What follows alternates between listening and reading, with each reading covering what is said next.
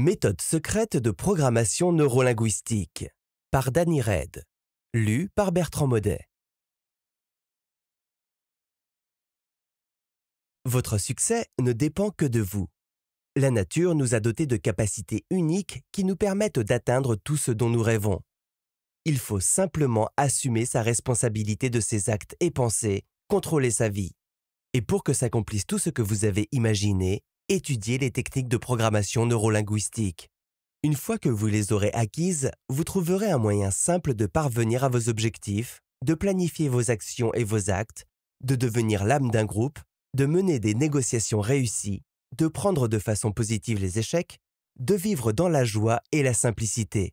Pour vous aider, voici ce livre des éditions AB Publishing. Introduction la sagesse antique dit que l'âme humaine est quelque chose de sombre. Il n'y a donc toujours pas de technique pour travailler sur l'âme humaine de façon à l'influencer, la corriger et la guérir. Bien sûr, de tout temps ont existé des pédagogues géniaux, des médecins, des prêtres qui ont su influer d'une certaine manière sur ce matériau sensible, mais ils sont rares. Les techniques spéciales d'action sur la conscience de la personne, avec son moi intérieur, sont apparues au XXe siècle. Celles qui sont les plus efficaces dans le domaine de la psychanalyse sont ce qu'on désigne comme programmation neurolinguistique, PNL. Chapitre 1 Qu'est-ce que la PNL La PNL est un nouveau regard sur sa vie, vie qu'on peut vivre avec plaisir et non pas comme les choses se présentent, et en se plaignant du sort ou du karma qui vous est infligé. Avec suffisamment de courage et de persévérance, fort des techniques de PNL, vous pourrez même orienter votre propre vie. La PNL, une composante de la psychiatrie et la psychologie. La différence avec la psychologie classique consiste en ce qu'un spécialiste de PNL ne règle pas vos problèmes, il n'essaye pas de vous corriger. Il place simplement dans votre conscience le modèle de comportement nécessaire qui refuse d'accorder à moindre place à n'importe quel problème, en proposant au patient un choix plus étendu de solutions à la question qui est une source d'inquiétude. Comparons. Pour débarrasser un patient d'un problème ou d'une phobie, le psychologue doit d'abord étudier soigneusement toutes les raisons qui sont à son origine, leur mécanisme de développement. Ensuite, pour éliminer ce problème, il s'efforce de modifier ces mécanismes qui se sont enracinés dans la conscience humaine il arrive que le patient doive consulter un psychologue pendant des années sans résultat. Le spécialiste en PNL ne va pas se mettre à corriger votre phobie. Il s'efforcera de modifier votre comportement et vos pensées de sorte que ce problème ne trouve plus de place dans votre vie. La PNL étudie la structure de pensée et de perception du monde de la personne. Bien sûr, cette structure ne consiste pas en formules mathématiques strictes, mais il est cependant possible de l'analyser pour comprendre comment elle fonctionne. Chaque personne a sa propre carte individuelle de vision du monde, son avis sur ce monde et, par conséquent, ses réactions propres quant à son environnement. Il existe une réalité objective, mais nos organes de perception, le toucher, l'odorat, la vue, l'ouïe, ont leurs limites et ne sont pas à même de percevoir toute la gamme de sons, de couleurs et d'odeurs. Nous n'avons donc qu'une image approximative de la réalité qui nous entoure, d'autant plus que chacun d'entre nous voit le monde à travers les lunettes de sa culture, de son éducation et de son caractère. Chacun a sa vision qui se distingue de celle des autres. Elle dépend du lieu d'habitation, du sexe et de la formation reçue. Par exemple, les gens d'autres nationalités, qui ont une autre histoire, une autre culture, auront une vision différente du monde. Compte tenu de toutes ces spécificités, on peut en conclure que la carte de vision du monde de chacun est limitée, unique et individuelle. Pour lui, c'est cette carte personnelle qui est vraie, la plus authentique et véritable. Bien sûr, il peut y avoir des cartes de vision du monde proches qui lui sont pratiques à comprendre et offrent des possibilités supplémentaires. Pour résumer, la personne qui part de sa carte et utilise quelques éléments d'une carte proche choisit un type de comportement qui lui est optimal c'est-à-dire que le comportement d'une personne dépend de ses convictions et notions intérieures. Pour parler de manière scientifique, la PNL est une étude des structures d'expérience subjective de la personnalité.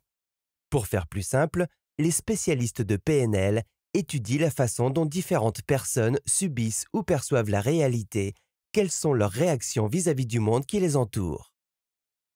À l'aide de la PNL, on peut orienter un patient vers le résultat qui lui est nécessaire, l'aider à revoir son comportement ou ses relations avec les autres, c'est-à-dire l'aider à créer cette image de la personne qu'il rêve d'être. Dans son arsenal, le spécialiste de PNL dispose de tout un choix de méthodes éprouvées qui conviendront dans tous les cas de la vie. Si par exemple vous avez peur du vide, à l'aide de la PNL, un spécialiste choisira pour vous une méthode qui fera que cette phobie disparaîtra de votre vie. Les méthodes de PNL aident à comprendre tout problème apparaissant dans la conscience d'une personne, à procéder rapidement et facilement à des changements en profondeur et durables tant dans le comportement que les convictions. Avec la PNL, ont été élaborées des techniques permettant à une personne de modifier rapidement et de façon très efficace ses pensées, son comportement et ses convictions pour atteindre le résultat voulu. Bien sûr, ce processus est complexe et long. Il impose une pleine compréhension et une confiance mutuelle entre le patient et le psychologue. La PNL est un mode de perception du monde, Rien de particulier ne doit être spécialement acquis. Toutes les méthodes élaborées sont le fruit d'observations à long terme du comportement d'une personne et de ses réactions face à la réalité qui l'entoure. Comme les convictions et les opinions de chaque personne sont subjectives, l'objectif des spécialistes de PNL est de montrer au patient que sa carte du monde ne correspond pas à la réalité extérieure. Dans la PNL, on travaille sur les convictions et perceptions subjectives. Si on les modifie, c'est le comportement de la personne qui changera. La PNL fut conçue à l'origine pour étudier la pensée de personnes talentueuses et accomplies. Les spécialistes en programmation neurolinguistique s'efforçaient de comprendre en quoi se distinguaient les génies des gens ordinaires. Grâce aux méthodes de programmation neurolinguistique, ils mirent au jour l'essence de la réflexion débouchant sur le succès et ils tentent maintenant d'apprendre aux autres gens à mettre en pratique des schémas similaires pour les aider à atteindre les objectifs personnels qu'ils se sont fixés. La programmation en vue du succès. Apprenez ce que savent les grands mages et ce ne sera déjà plus de la magie. Richard Bach, Illusion ou le Messie récalcitrant. Et en effet, la connaissance est une force. Le sens de cette épigraphe peut être formulé autrement. Si vous connaissez le secret des gens qui réussissent, alors vous connaîtrez vous aussi le succès. Si vous maîtrisez les connaissances des professionnels, alors vous serez un maître dans votre domaine. Découvrez le secret des génies et vous deviendrez un génie vous-même. La programmation neurolinguistique. Le terme de programmation effraie beaucoup de personnes et les écarte de ce domaine de la psychologie pratique et de la psychothérapie. Étudions donc le sens de ce terme. Qu'est-ce que la programmation? La programmation, c'est une succession d'actions visant à atteindre un résultat. Dans notre vie de tous les jours, nous sommes confrontés à ces instructions données pas à pas, par exemple en lisant une recette de cuisine, la notice d'un appareil ménager, quand nous apprenons un métier nouveau. Les recettes, les notices, une technologie, la description d'un fonctionnement ne nous repoussent pas, mais le mot de programmation met tout de suite sur ses gardes. Pourtant, la programmation, ce n'est que le programme ou la succession d'actions qui vous aidera à corriger notre comportement, à modifier votre vision subjective du monde. Or, nous n'avons pas peur des calendriers quand nous organisons notre temps de travail. Et justement, la PNL, ce n'est rien d'autre que le processus de mise en place du programme de son activité, de son comportement. La PNL est la manifestation des actions successives qui permettent aux gens de réussir dans leur tête la généralisation et la description de leur expérience pour les transmettre à d'autres personnes, c'est-à-dire l'élaboration d'instructions, de techniques de comportement pour parvenir au succès dans telle ou telle activité. La programmation neurolinguistique existe depuis presque 35 ans et elle est très populaire dans beaucoup de pays développés. Par exemple, en Autriche, en Suisse ou en Allemagne, la PNL est officiellement reconnue comme une branche de la psychothérapie. En France, certains standards de PNL sont officiellement validés. Aux États-Unis, il existe presque une centaine de structures officielles recourant à la PNL. Et en Allemagne, 70 centres de PNL fonctionnent. Il y a même des instituts qui étudient et élaborent des méthodes de PNL pour les utiliser dans différents domaines. Dans les pays occidentaux, beaucoup d'entreprises, pour le recrutement de nouveaux collaborateurs, accordent une préférence aux candidats ayant un certificat dans le domaine de la PNL. En Russie, la programmation neurolinguistique ne fait que commencer à se développer, mais à Moscou et à Saint-Pétersbourg, il existe déjà des centres officiels de PNL qui sont reconnus à l'international.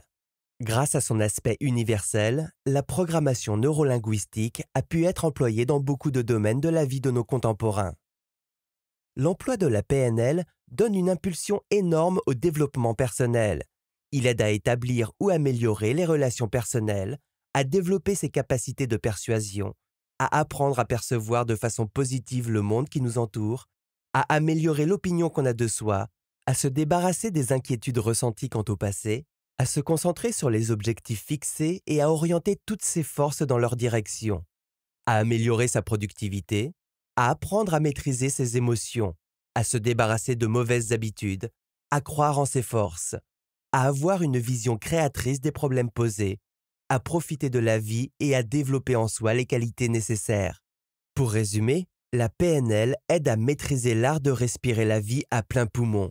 Et surtout, l'essentiel, c'est à vous de changer votre vie.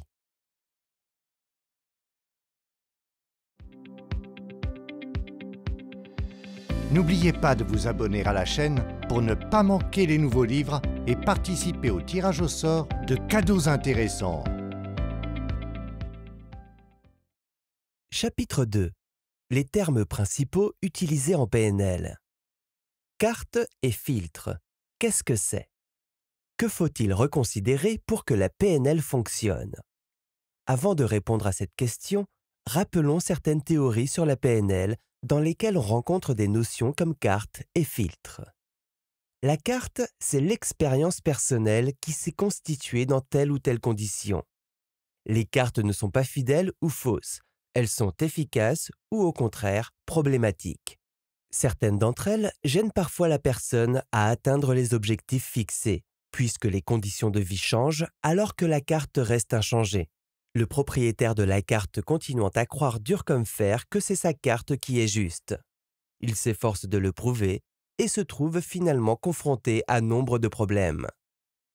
Les filtres, ce sont nos organes de perception, notre expérience, nos convictions, notre culture, notre langue, notre nationalité, nos valeurs et nos intérêts. Tout est relatif dans notre monde. Si on demande par exemple à un adolescent 50 ans, c'est beaucoup ou c'est peu? Bien sûr, il répondra que c'est vraiment beaucoup. Alors qu'un vieillard de 80 ans dira que c'est un âge encore tout jeune. C'est comme trois cheveux. S'ils sont sur la tête, c'est peu. S'ils sont tombés dans l'assiette, c'est trop. Tout est relatif dans ce monde, et la perception que nous en avons n'embrasse encore pas le monde entier. La PNL, c'est l'étude de ces cartes, c'est-à-dire de l'expérience subjective. Les spécialistes en PNL aident à étendre ou à modifier complètement cette carte, notre vision du monde, pour qu'elle devienne plus efficace. À quoi bon modifier sa carte? Nous percevons et nous étudions le monde qui nous entoure à l'aide de nos organes de perception. Et comme nous avons six sens pour percevoir le monde, les yeux, les oreilles, la langue, la peau, le nez, le système vestibulaire, et que le monde est bien plus complexe, nous n'en percevons qu'une très petite part et nous ne pouvons pas en donner une appréciation objective. Nous laissons pénétrer cette partie de la réalité environnante à travers nos filtres, ce qui donne à chacun sa propre carte, sa propre réalité unique reposant sur ses impressions et son expérience personnelle de vie, et le comportement étant étroitement lié à ce modèle du monde. Une personne qui a des intérêts et des convictions étroits perçoit le monde comme ennuyeux et sans joie. Mais la même réalité peut être perçue comme excitante à condition de modifier les filtres à travers lesquels cette personne perçoit le monde environnant. Dans la PNL, les filtres sont parfois désignés comme cadres comportementaux, qui aident à comprendre les raisons de nos actions. Analysez les cadres que vous utilisez dans votre vie. Peut-être faut-il y apporter des modifications ou même en changer. Sortir des cadres fixés. Le cadre visait le résultat. Il consiste à orienter toutes ses actions vers l'objectif à atteindre, de façon à trouver les bonnes solutions sans se concentrer sur les problèmes. Le cadre accusation, au contraire, vise à rechercher les causes de ces échecs et à les analyser en détail. En revanche, l'emploi de ce cadre ne mène à rien de positif.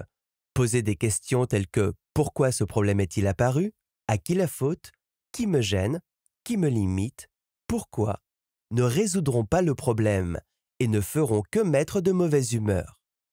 Par conséquent, s'il faut résoudre le problème, il faut se poser la question comment.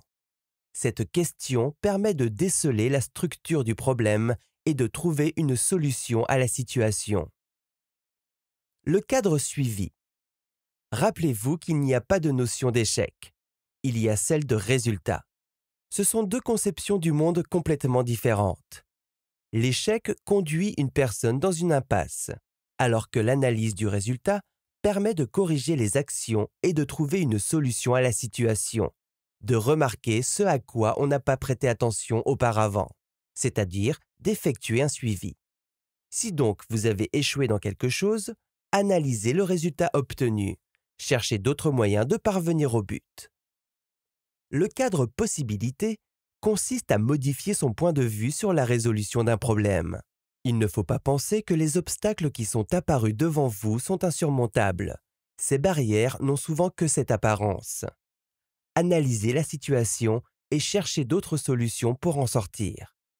Ce n'est pas pour rien qu'on dit qu'il n'y a pas de situation sans issue.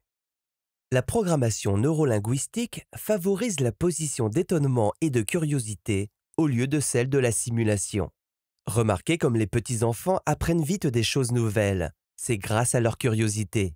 Ils ne savent pas grand-chose et pour comprendre comment le monde environnant fonctionne, ils posent des questions à tout bout de champ. Ils se moquent de savoir ce qu'on va penser d'eux, de savoir si leurs actions et leurs questions sont ridicules ou pas. La PNL comporte encore une idée très utile. Elle consiste à utiliser la tactique de la présupposition si vous voulez obtenir du succès c'est-à-dire à supposer que toutes vos actions sont justes plutôt que de penser le contraire. Apprendre, étudier, réapprendre et oublier. L'être humain est constamment, à chaque minute, à chaque seconde, assailli d'un flot énorme d'informations, mais notre conscience est très limitée et nous n'intégrons qu'une partie infime de ce flot. Or, si on analyse, on remarque inconsciemment beaucoup plus qu'on ne perçoit consciemment. Essayons de comprendre ceci. Chacun a sa conscience et son subconscient. Comme nous l'avons déjà dit, elle est limitée. En même temps, elle perçoit beaucoup et conserve environ cette variables, cette partie d'une information quelconque du monde extérieur et intérieur. Le subconscient perçoit en même temps beaucoup plus, puisqu'il saisit tous les processus vitaux de l'organisme de l'être humain, toute notre expérience accumulée. Le subconscient est beaucoup plus informé que notre conscience. Par exemple, si vous êtes à un moment donné occupé par une affaire, vous ne voyez et n'entendez que les images et les sons liés à cette affaire, et toutes vos pensées sont aussi orientées dans cette direction. Et pourtant, la vie continue autour, elle est riche d'informations.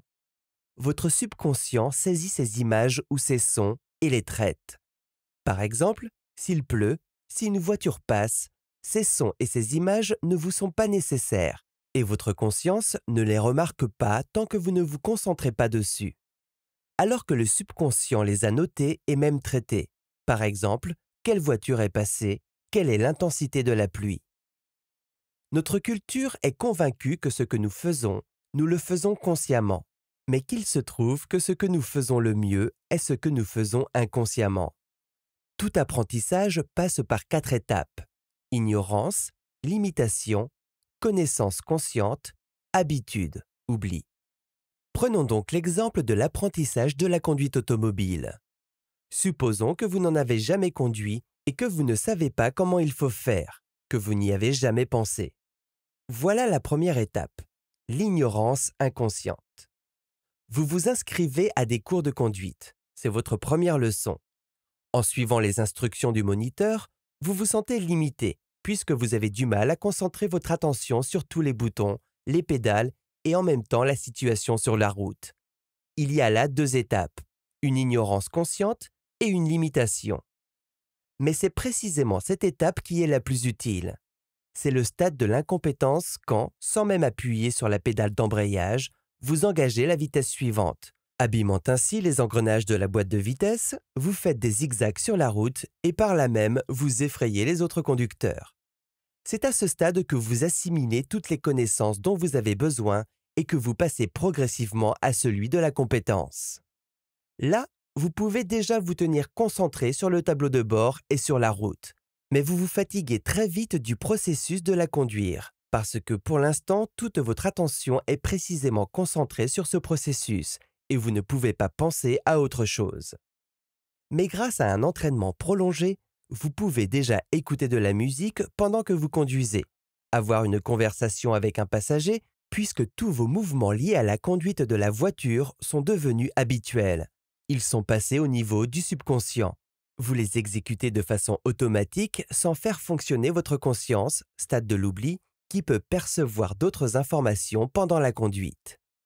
Tous vos savoir-faire sont mêlés en un tout cohérent, et vous êtes passé au stade de la compétence. Ce sont les mêmes étapes qu'il faut parcourir dans l'apprentissage des techniques de PNL.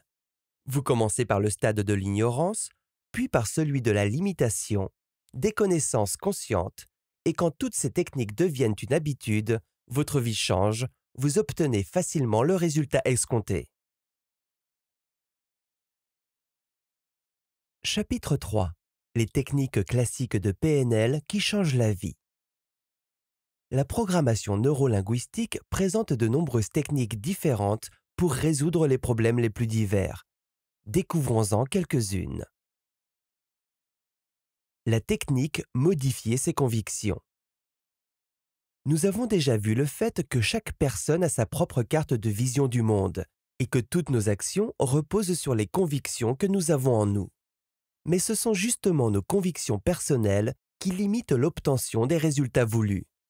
Par exemple, nous voulons obtenir quelque chose. Nous commençons à choisir des moyens pour atteindre l'objectif fixé et nous passons ces moyens sélectionnés au tamis de nos convictions. Nous considérons certains de ces moyens comme acceptables et d'autres comme impossibles, parce qu'ils ne correspondent pas à nos convictions. Mais en fait, nos convictions, c'est quelque chose de subjectif. Parfois, ce sont justement nos convictions qui nous empêchent de commencer à vivre dans ce monde une vie pleinement normale. Toutes nos convictions se sont établies à la suite de situations, mais les événements et les situations ne peuvent pas être bons ou mauvais. Ce sont nous qui les rendons ainsi, en les laissant passer à travers le prisme de notre perception de la réalité environnante. Par conséquent, pour modifier vos convictions, reconsidérez la situation, Réunissez des faits positifs la concernant et analysez bien ceux qui sont négatifs. Vous serez peut-être convaincu que vos opinions sont erronées. S'il vous est difficile de renoncer à vos convictions, alors que vous avez compris que votre certitude est erronée, remplacez-les par un autre principe, concentrez-vous dessus et commencez à le répéter régulièrement, mais avec une touche d'optimisme. Au bout d'un mois, à faire cet exercice, vos convictions changeront. La technique de l'ancrage. Vous avez probablement remarqué que dans les préoccupations de la vie quotidienne, quand vous êtes plongé dans la routine habituelle, vous commencez soudain à éprouver un élan émotionnel sans comprendre d'où ça vient. En fait, c'est tout simple. Quelque part, une musique connue s'est fait entendre. Elle suscite en vous des souvenirs agréables, d'où cet élan émotionnel. Dans votre psychisme, s'est mis à fonctionner l'ancrage. Les encres de PNL peuvent susciter des émotions positives comme négatives. On peut fixer des encres artificiellement. Par exemple, nos grands-mères, pour ne pas oublier un événement, faisaient des nœuds à leur mouchoir. Aujourd'hui, on peut voir certaines personnes se dessiner une croix sur la main pour ne pas oublier quelque chose. Ces nœuds ou ces croix, ce sont aussi des encres permettant de se souvenir d'un événement important. Cette technique d'ancrage est utilisée dans de nombreuses situations. Elle consiste à procéder comme suit. Certaines actions, circonstances, situations, lieux, images, musique sont toujours liées pour la personne à l'état, positif ou négatif, qui est suscité par eux. En utilisant ce fait, on peut apprendre à susciter l'état d'esprit voulu non seulement chez soi, mais également chez autrui. La méthode est très simple. Choisissez tout d'abord l'état ou les sentiments que vous voulez éprouver au moment présent. Puis rappelez-vous une situation, une image, des circonstances au cours desquelles vous avez éprouvé ces sentiments. Plongez-vous progressivement dans vos souvenirs, rappelez-vous les détails agréables et vous vous sentirez pris par les mêmes émotions que celles que vous aviez ressenties la première fois dans ces situations. Dès que vous commencerez à éprouver ces sentiments sur vous, grattez-vous, caressez-vous ou pincez-vous une partie de votre corps, par exemple le poignet. Répétez cet exercice plusieurs fois en touchant toujours la même partie de votre corps. Pour conclure, si vous avez besoin de susciter ce sentiment dont vous avez besoin, par exemple la joie, il vous suffira de toucher, caresser ou pincer cette partie du corps que vous avez reliée à l'état émotionnel voulu. L'encre peut être synesthétique, c'est-à-dire que l'état émotionnel voulu sera suscité par le toucher. Auditive, l'encre sera liée à un mot, une voix, une musique, un ton de la voix.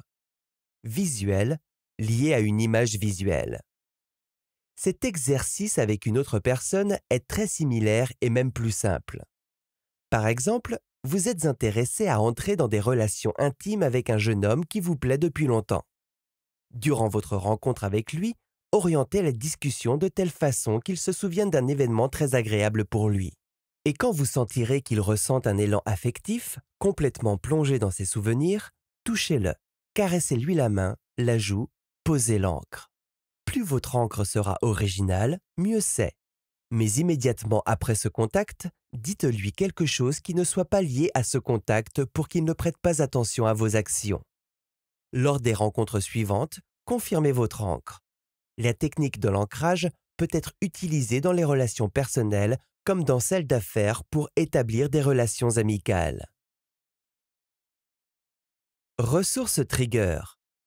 Dans notre vie, il y a des situations dans lesquelles nous sommes pris par des émotions négatives qui peuvent entraîner des actes irréfléchis. Pour ne pas abîmer votre image ou vos relations avec des personnes dont vous avez besoin, utilisez le principe ressources trigger. Le trigger en PNL, c'est un signal de départ qui comprend un état psychologique négatif.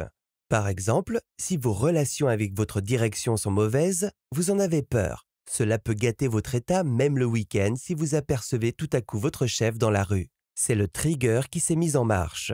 Le signal reçu est suivi d'un état de malaise, lui-même suivi d'actions qui ne vous apportent rien de bien. Pour l'éviter, il faut se servir de la ressource trigger. La ressource trigger en PNL vise à neutraliser ces réactions négatives. Comment opère-t-elle?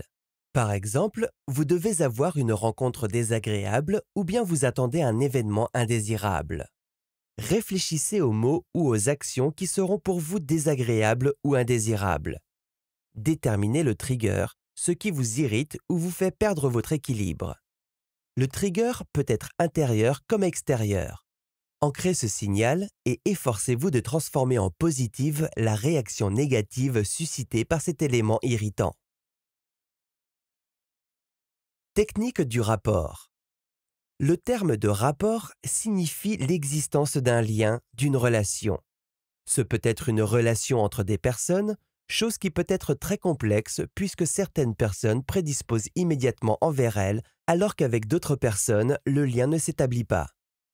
Comment instaurer la compréhension mutuelle nécessaire? Utilisez la technique du rapport, parfois appelée aussi technique du miroir. La technique du miroir est une copie complète de l'interlocuteur, de son comportement, de sa respiration, de ses mots, de ses gestes, mais de telle sorte que cela ne ressemble pas à une parodie. Si vous pouvez de cette manière vous adapter à votre compagnon en le copiant intégralement, alors l'objet de votre attention aura une confiance inconsciente envers vous, et c'est justement sur cette confiance que reposent de bonnes relations équilibrées. C'est l'état où votre influence par suggestion est réellement perçue et mise en pratique. Comment obtenir cet effet? La technique du miroir s'opère par étapes. La technique de copie du comportement consiste à adopter au début une pose similaire à celle de votre partenaire dans cet échange, aussi précise que possible. Ensuite, il faut répéter à sa suite tous ses gestes, les mouvements de ses mains, l'inclination de la tête, la position du dos. Il est très difficile de le faire tout de suite. Entraînez-vous d'abord et une fois que vous avez compris le principe, vous le ferez de façon automatique. Commencez par vous entraîner avec des gens qui sont assis, car leurs mouvements sont limités et ils ne discutent pas avec vous ou alors avec des proches. Suivre les mouvements. Au début de l'entraînement, choisissez une personne qui bouge devant vous. Essayez de vous mettre dans ses pas. Commencez à copier les gestes à partir de mouvements simples. La personne se lève, levez-vous aussi. Elle sourit, souriez. Copiez cependant partiellement pour que ça ne ressemble pas au comportement d'un singe. Imitez la respiration. Notez le rythme, la profondeur, la fréquence des inspirations du partenaire, mais rappelez-vous que la femme respire avec la poitrine, alors que l'homme le fait avec le ventre, et essayez, en imitant la respiration, que ça vienne comme chez un poète. Leur respiration se l'air. S'adapter à la voix. Ici, il ne s'agit pas d'être un imitateur. Dès le début, suivez la règle d'être un auditeur attentif. Faites attention au rythme, à la régularité et au volume de la voix de votre interlocuteur, aux mots qu'il utilise. Avant de copier le style de communication de la personne, entraînez-vous à la maison. Quand vous aurez maîtrisé tous ces exercices de technique du miroir, vous pourrez passer à l'étape suivante d'une communication idéale, c'est-à-dire de faire des suggestions à votre partenaire. Par exemple, vous êtes au café avec votre partenaire, il vous raconte quelque chose avec enthousiasme. Vous l'écoutez attentivement, ou vous faites semblant de l'écouter, et vous reflétez son comportement comme dans un miroir. Il prend sa tasse, vous prenez la vôtre. Il boit une gorgée, vous en buvez une. Au bout d'un certain temps, un lien invisible s'établit entre vous et la personne commence à répéter et à copier vos mouvements. Dès que vous parvenez à cet unisson, amenez votre partenaire là où vous en avez besoin. Vous pouvez lui adresser une demande, vous mettre d'accord avec lui sur quelque chose. Si vous avez besoin d'établir un rapport avec tout un groupe, alors vous pouvez ne pratiquer la technique du miroir que partiellement. Vous copiez les gestes d'une personne, la respiration d'une autre, la voix d'une troisième. Si le groupe est nombreux, alors déterminez qui en est le chef et commencez par cette personne. Essayez ensuite d'unir tout le groupe par une seule attitude, par exemple autour de l'intérêt que vous suscitez. En utilisant la technique du rapport, essayez de ne pas vous dépêcher. Il vaut mieux passer un certain temps dans cette technique du miroir, écouter attentivement votre interlocuteur et hocher de la tête en signe d'assentissement que de se dépêcher et tout gâcher. Chapitre 4 Les techniques de PNL. Passer à un niveau supérieur. La technique de dissociation. À l'aide de cette technique, on peut se libérer d'une réaction négative à un facteur irritant. Elle sert de bouclier contre la dépression, le stress et est employée pour éliminer les phobies. Elle consiste à amener la personne à prendre du recul pour se regarder et avoir une appréciation objective de tous les événements qui surviennent. Les étapes en sont les suivantes. Analysez la situation et réfléchissez pour savoir quelle est l'émotion que vous considérez comme indésirable et dont il faut se débarrasser. Essayez d'imaginer que cet événement indésirable arrive non pas à vous, mais à quelqu'un d'autre. Essayez de vous voir en spectateur. Revivez les événements qui ont suscité chez vous ce problème, depuis la fin, puis revoyez le film dans le bon sens, puis en sens inverse, comme si vous enrouliez la bande d'un film. Revivez encore une fois la situation depuis la fin, mais ajoutez-y des aspects comiques ou une musique amusante en recourant à votre imagination. Revivez maintenant tous les événements que vous avez vécus mais à la première personne. Analysez vos émotions à l'évocation de ces souvenirs si elles n'ont pas disparu. Continuez à répéter l'exercice, mais en considérant la situation à la deuxième personne. Essayez de faire abstraction du problème, privez-le de votre appui émotionnel la technique du cadre à contenu. Il s'agit du cadre, de la carcasse ou du modèle d'une image abstraite, la description la plus minimale de l'essence d'un événement, d'un objet, d'une situation. Cette technique permet de se libérer du sentiment de colère, d'impuissance ou d'une autre réaction négative à des événements passés, à le remplacer par un sentiment positif. Il vous faudra placer ce problème dans un autre cadre. Cette méthode n'exigera de vous qu'une analyse partielle du problème. Déterminez quel événement négatif a suscité en vous ces émotions ou sentiments négatifs dont vous voulez vous débarrasser. Répondez aux questions suivantes. Qu'avez-vous obtenu dans ces circonstances? La situation en question est-elle si mauvaise? A-t-elle des côtés ou des aspects positifs? Ces événements pouvaient-ils contenir des aspects encore plus négatifs? À quoi ressemblera cette situation dans un certain temps, par exemple dans 6 ou 7 ans? Revivez dans votre tête les seuls aspects de ce problème jusqu'à ce qu'en disparaissent les côtés négatifs. Par exemple, vous avez divorcé. C'est bien sûr une épreuve pénible, mais au moins maintenant, vous n'allez plus éprouver les sentiments négatifs qu'éveillait votre moitié. Vous n'êtes pas devenu seul, mais libre.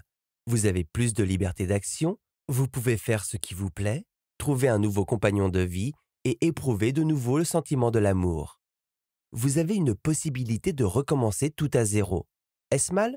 Si vous avez déjà une expérience de la vie, alors vous ferez moins d'erreurs.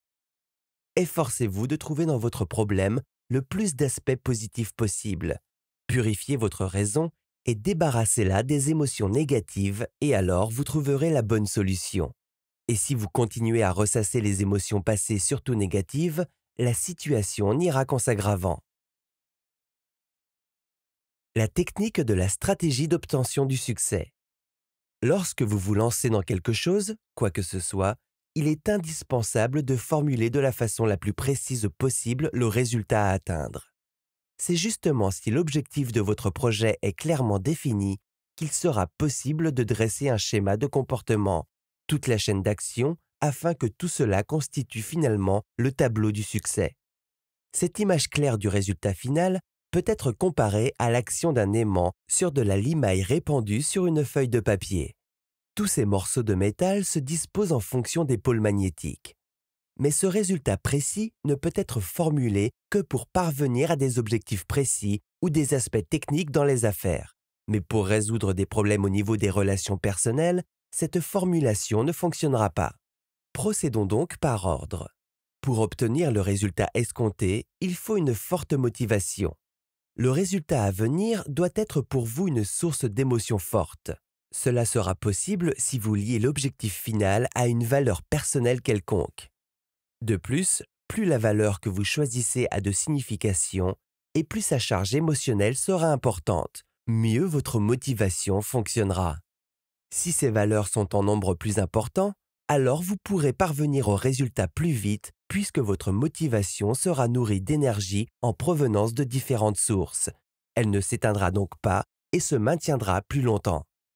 D'habitude, le processus de motivation apparaît de façon irrationnelle et n'est pas contrôlé par notre connaissance. Le processus de motivation ressemble à une balance sur laquelle nous pesons les aspects positifs et négatifs de l'affaire en question. Nous cherchons à comprendre les efforts que nous devrons faire pour parvenir au résultat final. En réalité, il ne se passe rien d'autre dans la conscience qu'une constitution de la motivation. Si vous avez une grande quantité de travail à accomplir, alors ajoutez de façon progressive les objectifs finaux. Par exemple, réaliser tel point aujourd'hui, finir telle étape pour la fin de la semaine, c'est-à-dire qu'il faut procéder pas à pas. Cette procédure vous permettra de commencer à agir tout de suite, sans reporter votre travail au calendrier grec. La division du travail permet de s'appliquer au quotidien autant que nécessaire, et l'exécution régulière des tâches prend un rythme particulier. Lui-même intervient comme une force motivante. Pour arriver à cet état, il faut connaître des émotions positives liées à l'exécution du travail, comme tout ce qui aide à accomplir chaque jour des étapes vers l'obtention du résultat. Ne laissez pas les obstacles se transformer en échecs ou en défaites, mais en tremplin pour sauter par-dessus l'obstacle suivant. Mettez en place un suivi de qualité. Aussi souvent que possible, faites le point sur ce qui se passe autour de vous et ce qui vous arrive. Écoutez, regardez la situation et les événements qui surviennent. Malheureusement, nous négligeons très souvent cet aspect, et si nous connaissons l'échec, nous ne savons pas changer d'activité ou de comportement. Si on ne fait pas de suivi, alors il n'y a pas de contrôle de l'avancée vers l'objectif fixé. Tirez chaque jour le bilan du travail accompli en comparant avec les résultats précédents. Ce mécanisme de contrôle, c'est un pas vers l'objectif. Ce sont des émotions positives. Votre devoir est de renforcer ces émotions et non pas de les étouffer. Mais le résultat d'un pas accompli vers l'objectif ne doit pas être comparé à l'objectif final. Ce serait une mauvaise comparaison qui casserait toute la disposition positive et la motivation, puisque le résultat d'une seule journée peut être tout simplement perdu en comparaison avec ce qu'il reste à faire. N'oubliez pas de vous féliciter même du pas le plus petit que vous aurez accompli en direction de l'objectif. La technique du générateur de nouveaux comportements. Utilisez cette technique si vous voulez changer de comportement ou améliorer un type de comportement que vous avez déjà. Elle peut être utilisée pour progresser sur le plan professionnel ou personnel, apprendre quelque chose de nouveau. Libérez votre fantaisie et imaginez-vous dans un nouveau rôle, celui dont vous rêvez. Si vous avez du mal à remplir ce rôle, alors pendant un certain temps, vous serez non seulement un acteur, mais aussi un metteur en scène, et vous vous verrez d'un autre point de vue c'est-à-dire avec du recul. Commencez à corriger votre comportement. Si d'autres personnes sont à côté de vous, regardez comment elles réagissent à votre nouveau rôle. Corrigez votre scène jusqu'à être satisfait du résultat obtenu. Ensuite, entrez plus profondément dans votre rôle. Il faut que vous entriez en vous-même quand vous jouez ce rôle. Concentrez-vous sur vos sensations et les réactions de votre entourage. Analysez les sensations que vous ressentez. Avez-vous vraiment besoin de ce nouveau comportement, de cette nouvelle image? Si vous ne pouvez pas vous en passer, recourez encore à votre imagination. Reprenez votre place de metteur en scène et commencez à corriger le film où vous occupez le premier rôle. Quand vous serez satisfait du résultat, déterminez un signal que vous utiliserez comme trigger ou encre, déclenchant votre comportement dans ce nouveau rôle. Entraînez-vous mentalement pour que cette encre effectue ce lancement ce n'est là qu'une toute petite partie des techniques de programmation neurolinguistique. Or, pour commencer à travailler et y trouver une utilité, il ne suffit pas d'en prendre connaissance, il faut les inscrire dans sa conscience comme dans son subconscient, en faire des convictions intimes. Il s'impose de supprimer les convictions limitatives pour les remplacer par les techniques de base de PNL. Chapitre 5 la PNL dans la vie personnelle. Comment utiliser la PNL dans les relations personnelles? La PNL peut être utilisée dans différents domaines de la vie. La santé, les affaires, la carrière, les relations avec les autres, les négociations et bien sûr l'amour. Quand il s'agit de notre vie personnelle, on veut obtenir un résultat tout de suite, sans attendre 20 ans un prince charmant ou une belle au bois dormant. On veut aimer et être aimé tout de suite, là, voilà pourquoi les techniques de PNL conviennent idéalement pour atteindre des objectifs personnels. Car l'amour est la source d'énergie la plus puissante, le bonheur, la joie et un sentiment extraordinaire de bien-être. L'amour donne une forte impulsion pour devenir beau, attirant et réussir. Beaucoup parmi nous considèrent qu'à notre époque de cynisme, il ne peut plus y avoir de véritable amour sincère, et que même s'il naît entre un homme et une femme, il va disparaître au bout de deux ou trois ans et dans le meilleur des cas, il se transformera en amitié ou en respect mutuel. Certains considèrent que l'amour se paie dans les larmes et les souffrances.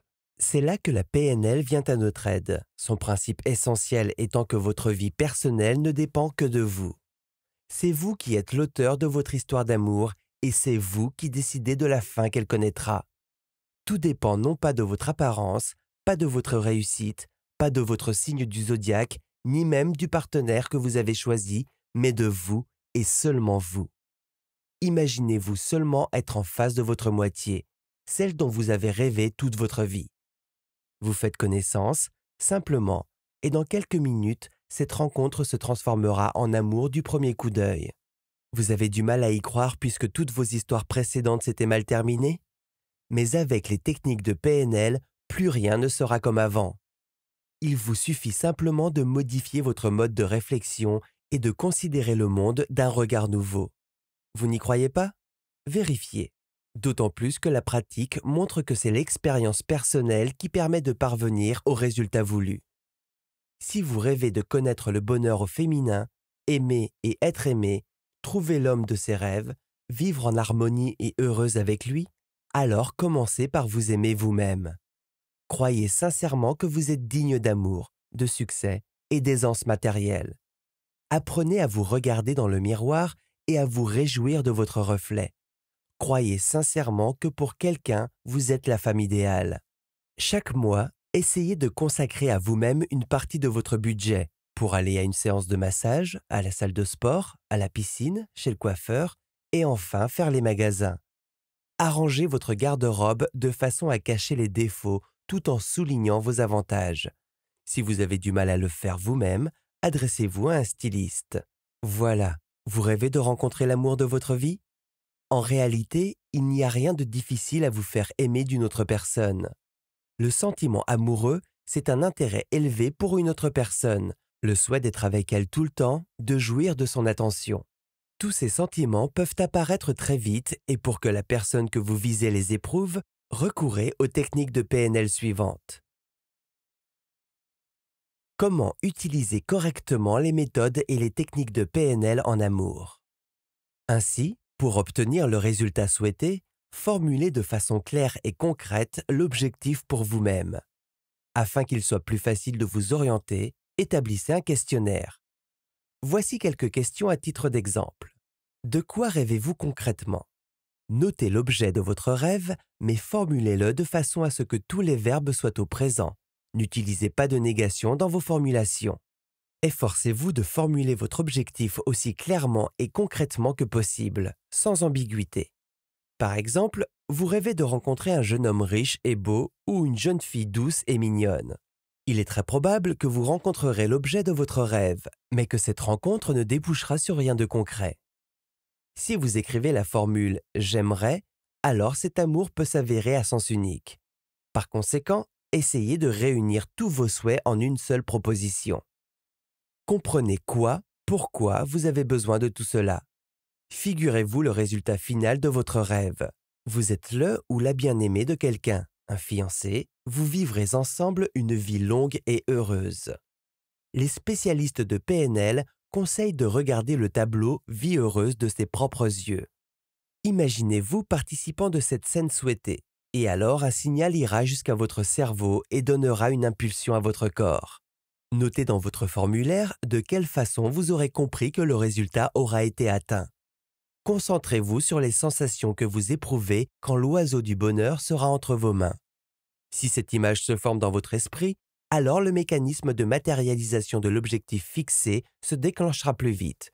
Imaginez-vous donc votre objectif sous format 5D.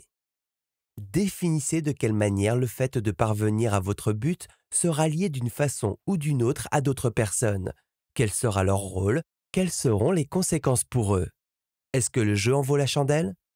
En outre, les techniques de PNL agissent essentiellement pour vous seulement, car vous allez programmer votre conscience. Il est peu probable que les formules magiques à l'adresse de votre moitié fonctionnent. Ce conseil convient tant pour le début d'une rencontre que pour la vie commune. Si vous répétez sans arrêt Mon mari ne s'intéressera plus à la boisson, il est peu probable qu'il arrêtera de boire. Mais si vous paraphrasez cette formule Mon mari se sent très bien en famille, je suis intéressante pour lui, il m'apprécie, et quand il a fini sa journée de travail, il a hâte de rentrer à la maison. Alors le comportement de votre mari pourra changer, parce que tous les changements auront commencé par vous. Par ailleurs, vous pouvez vous demander dans quelle situation votre objectif pourra sembler inutile? Que risquez-vous? Nous bloquons parfois la réalisation de nos souhaits par peur de perdre des difficultés. De quoi disposez-vous déjà pour parvenir au résultat et de quoi avez-vous encore besoin? Analysez votre vie. Rappelez-vous quel mari ou quelle femme vous avez été recommandé par vos parents. Quelles idées sur la famille, l'amour et le sexe vous ont été soufflées dès l'enfance? Quelles relations votre entourage encourage-t-il? De quels hommes ou quelles femmes rêvent vos amis? Que conseille-t-il pour améliorer votre vie personnelle? Quels sont les films, les feuilletons, les livres d'amour que vous aimez regarder ou lire? Qui est votre idole? Répondez aussi précisément et honnêtement que possible à toutes ces questions et vous découvrirez tout un tas de choses sur vous. Beaucoup d'entre nous ne prennent pas conscience de ce qu'ils attendent de l'amour. Nos souhaits les plus intimes sont souvent remplacés par des rêves d'autrui entendus de la bouche de nos amis et parents. Réfléchissez à ce que vous voudriez pour votre vie personnelle. Rejetez les standards qui vous sont édictés. Ne pensez qu'à vous. Peut-être n'est-il pas nécessaire de changer quelque chose dans votre vie, mais peut-être est-ce le contraire, et votre rêve est-il juste à portée de main? Pourquoi n'avez-vous pas encore atteint l'objectif que vous vous êtes fixé? Quels sont les obstacles à éliminer de votre route? Pour avoir des relations heureuses et harmonieuses dans votre vie, il est indispensable que l'amour ne soit plus des rêves romantiques abstraits, mais un résultat concret. Dès qu'une impulsion atteindra votre subconscient quant aux relations dont vous avez besoin, il commencera à organiser la route devant vous pour que vous parveniez à vos objectifs. Différentes pensées vont apparaître dans votre tête quant à la direction à prendre, à ce qu'il faut faire, qui rencontrer. Ces pensées vous mèneront au résultat attendu. Soyez attentif aux techniques de PNL suivantes. Elles vous aideront à atteindre vos objectifs. Par exemple, vous avez rencontré votre rêve et vous souhaitez faire connaissance, mais vous craignez un refus. Dans ce cas, la règle des trois oui vous aidera. On l'appelle encore règle de Socrate ou bien méthode du choix limité. Vous souhaitez donner un rendez-vous à la personne que vous visez.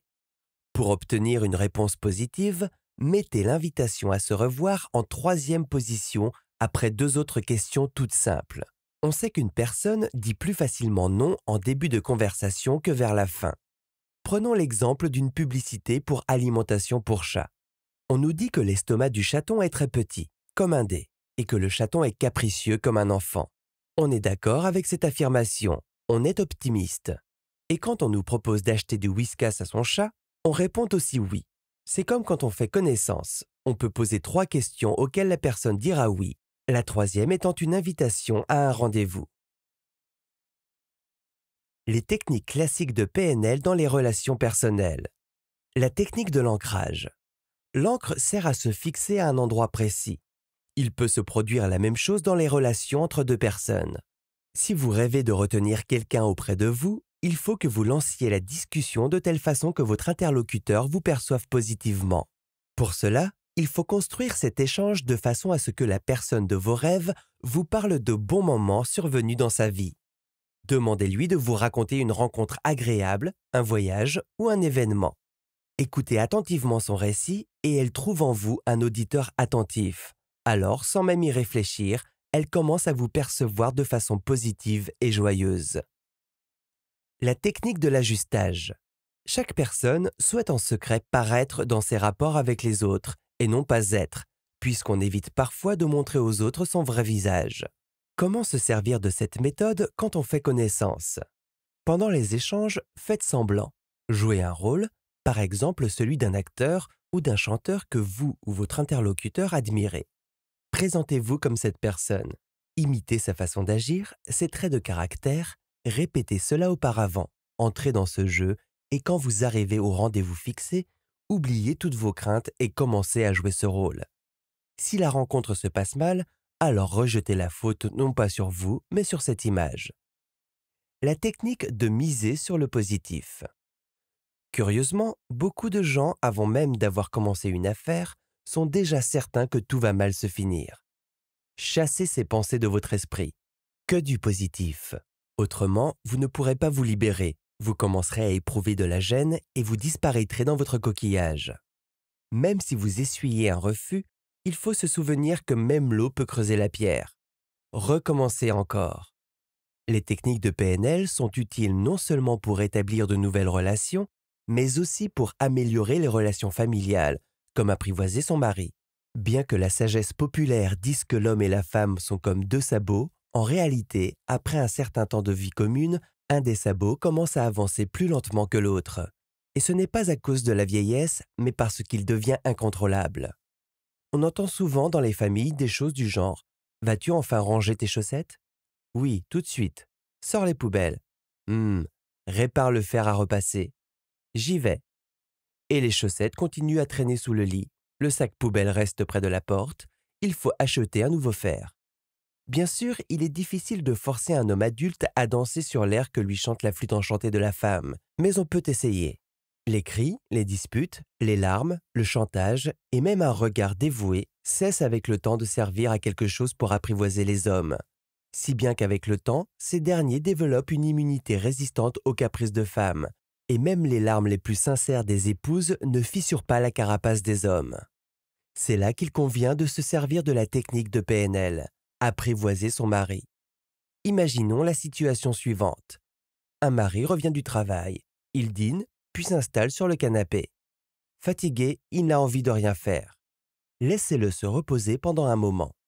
Ensuite, asseyez-vous auprès de lui et employez la technique du miroir dont il a été question plus haut. Copiez le comportement de votre mari, son intonation de voix, prenez la même pose que lui.